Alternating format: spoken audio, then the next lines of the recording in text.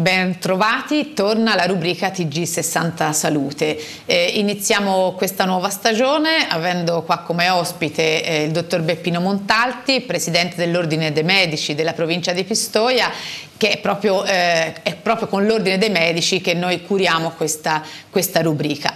E iniziamo facendo un po' il punto della situazione, eh, direi della situazione che ci ha visto così coinvolti in quest'ultimo anno e quindi appunto eh, la situazione del coronavirus dalla quale si spera di essere un po' fuori? Siamo un po' fuori o no? O è una percezione magari no. sbagliata che rischia di indurci a comportamenti sbagliati? Insomma, ci dica lei a che punto siamo.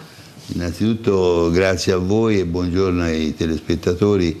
Eh, direi che oggi le notizie, proprio quelle dei dati di questa mattina, sia rivolte eh, riguardanti il nostro ospedale che i dati nazionali eh, sono in netto miglioramento, sia per quanto riguarda l'RT che è un indice di infettività e c'è poi il rapporto fra i tamponi fatti e quelli positivi. Mm eh, la curva è buona, eh, stiamo vedendo eh, dei buoni risultati. Eh, viene da domandarci perché sta accadendo questo.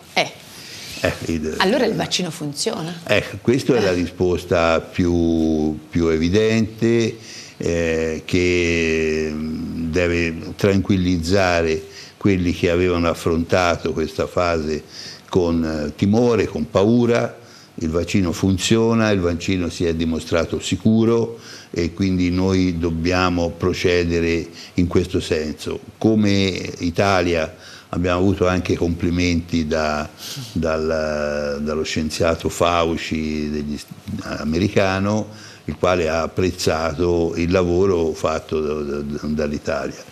Con eh, errori che abbiamo fatto, soprattutto nell'aspetto comunicativo mm. di questi dati, con forse troppi esperti che eh, facevano spettacolo in tante trasmissioni e forse in questi casi qui conviene sempre parlare molto meno ed essere più precisi. Ecco, comunque questo eh, noi poi come Federazione Nazionale degli Ordini abbiamo fatto una campagna per quanto riguarda eh, la vaccinazione in senso mm. lato e abbiamo visto, ci sono delle immagini che eh, noi non, non, conosciamo più la difterite ed eh. il vaiolo, mm. che sono state sconfitte grazie alla vaccinazione mm. e questo è stato un merito eh, innegabile e oggi non se ne ragiona più di questo problema. Ah. Abbiamo visto al contrario eh, esempi come il medico inglese famoso Andrew Wakefield che aveva pubblicato sull'Ancet, una rivista prestigiosa, un lavoro sulla correlazione fra la vaccinazione, i tre vaccini, poliomielite, morbillo mm. e, e rosolia, eh, con l'autismo, l'aveva messo in relazione all'autismo e sapete è una malattia che colpisce i bambini, i giovani ed è un, con numeri una malattia, crescenti. Esatto, numeri crescenti anche perché eh, abbiamo mezzi diagnostici più precoci, uh -huh. prima davamo mh, scarsa importanza a questi, a questi fatti. Ecco, questo lavoro che poi è stato smascherato come un lavoro fraudolento perché si era inventato questi Quindi dati, volontariamente, volontariamente in con, eh, connessione con studi legali che facevano poi le cause contro mm. eh, queste case che avevano fatto eh, i vaccini. E è stato espulso da quello che è un English Medical Council che sarebbe l'ordine dei medici mm. Eh, inglese eh, corrispondente, è stato espulso ed è stato condannato perché in questi 20 casi aveva fatto del, delle indagini, prelievo di, di liquor spinale in maniera incongrua e non corrispondente a quelli che erano i principi etici di ricerca. E nonostante questo questi lavori sono stati ancora oggi richiamati dal movimento Novax mm. per, eh, a dimostrazione della potenzialità del danno del vaccino. Ecco, quindi veramente qui siamo fuori dal mondo. Veramente eh, c'è stata una diffusione di false notizie che però hanno avuto grande presa, no, cioè no. hanno trovato terreno fertile. Che pensa che alcuni giudici anche in Italia eh, fermo su questo lavoro del, del medico inglese hanno, eh, dato, eh, hanno fatto delle sentenze dove richiedevano un danno queste, per, il, per l'autismo di alcuni, eh, vaccino, secondo, eh, secondo, secondo, questi i periti che avevano fatto, che avevano assistito questi giudici, questo era il meccanismo. Questo è un meccanismo che è falso, che è eh, proprio dimostrato in maniera, che poi questo è stato radiato, è stato processato per queste cose, quindi è, è, è fuori discussione mm. che questo è stato veramente una bufala, una ecco, delle sui, prime bufale. Sul vaccino anti-Covid poi ci sono anche delle mm, narrazioni del tipo eh, sì ma è stato fatto in maniera troppo rapido e quindi siamo tutte cavie, io non voglio essere una cavia, quindi per ora io non mi vaccino. Eh, il problema è questo, che è la prima volta nella storia della medicina che un vaccino viene preparato e usato durante una pandemia, che non era mai accaduto questo. Quindi è chiaro che quei periodi in cui un vaccino, come qualunque farmaco, viene sperimentato per, nelle varie fasi, una, due, tre, per avere... Che sono in genere sequenziali. Sequenziali no? Eh, e sono fatti su una popolazione, eh, ovviamente quanto più allarghi il campione, tanto più l'indagine è costosa. Quindi qui avevamo non un problema di costi, ma un problema di tempi per poter utilizzare il vaccino e quindi queste fasi sono state contratte ma sono state effettuate regolarmente e la dimostrazione è che eh, il danno, abbiamo visto che il vaccino è sicuro, mano a mano che noi stiamo andando avanti. Con milioni di persone vaccinate. Si sono vaccinate e che hanno avuto sì, quelle reazioni avverse che possono dare qualunque vaccino, che può dare qualunque farmaco e quindi mh, pienamente Gestibile. controllabili e quindi su questo siamo, siamo, assolutamente tranquilli. Poi abbiamo visto che anche questa tecnica dei vaccini a mRNA, mm. che è un'innovazione nella storia della vaccinazione, in realtà poi non è una terapia genica, anche questa è un'altra bufala, ah, perché non introducono niente nel nostro patrimonio, è solo un vettore della proteina che noi abbiamo scelto per vaccinare le persone che devono entrare a contatto con le nostre cellule. Eh Quindi questo è il meccanismo. Ci sono altri vaccini che, che usano una, un adenovirus che è il vettore, però questo non autorizza a definirla come una, una terapia genica.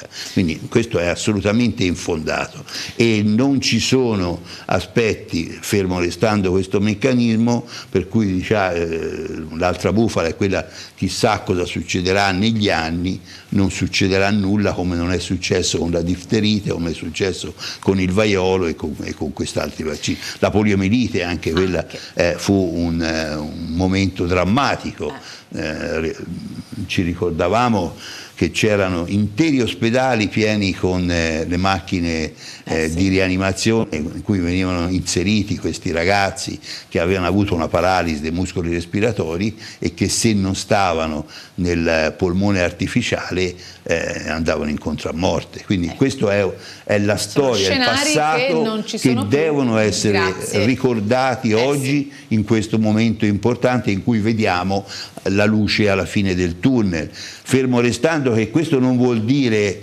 che eh, con la vaccinazione tutto è finito.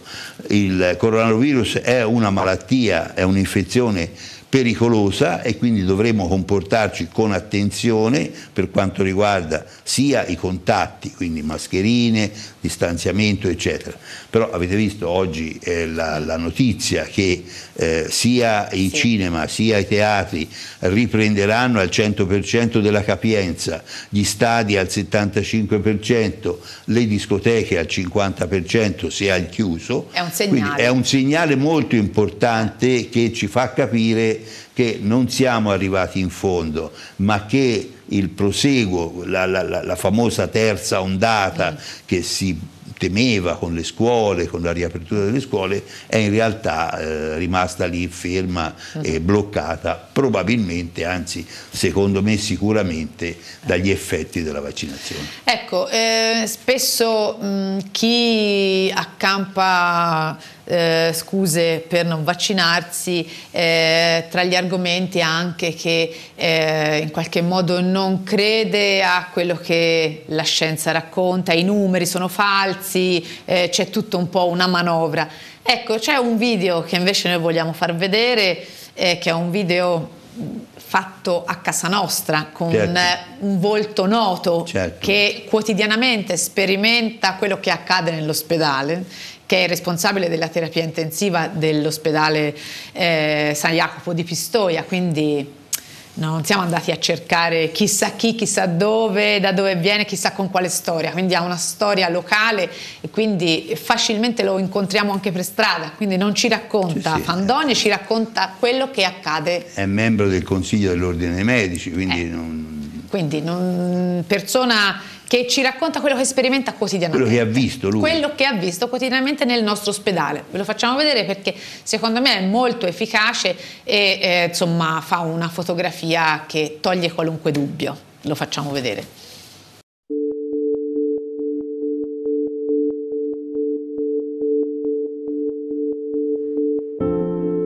Parlare di coronavirus a distanza di un anno e mezzo dall'inizio della pandemia per alcuni di voi potrà sembrare come riguardare il solito film, magari con qualche piccola variazione. Come responsabile della terapia intensiva dell'ospedale di Pistoia, credo che sia il caso di ripercorrere il sentiero che ci ha portato a fine estate 2021 in modo da poter trarre alcune considerazioni personali. Chi mi ha visto lavorare sa l'importanza che io do alla libera scelta quindi questo non sarà il solito invito alla vaccinazione, non perché io non ne riconosca l'importanza, attenzione, ma perché vedo e sento persone credere in qualsiasi cosa purché sia alternativa. E allora diventa importante condividere con voi dati reali che appartengono al nostro territorio per poter dare delle risposte concrete. La maggior parte degli ammalati che abbiamo intubato ed è purtroppo deceduta nel nostro ospedale non aveva ancora iniziato o completato il ciclo vaccinale. Tanti di loro non avevano fatto in tempo, avevano posticipato l'appuntamento per la vaccinazione per svariate ragioni finché il virus non li ha trovati impreparati.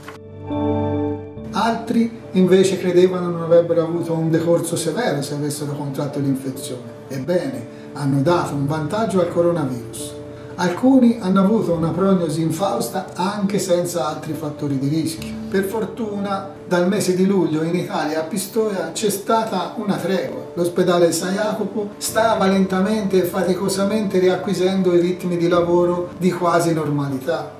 Abbiamo ricominciato a dare grande supporto alla chirurgia oncologica, potendo assistere con l'adeguata serenità tutte le condizioni cliniche bisognose del nostro intervento ma i ricoveri causati dal Covid sono ritornati a premere. Sin dagli inizi di agosto, periodo in cui abbiamo dovuto garantire assistenza a 124 persone affette da Covid, di cui 10 in terapia intensiva.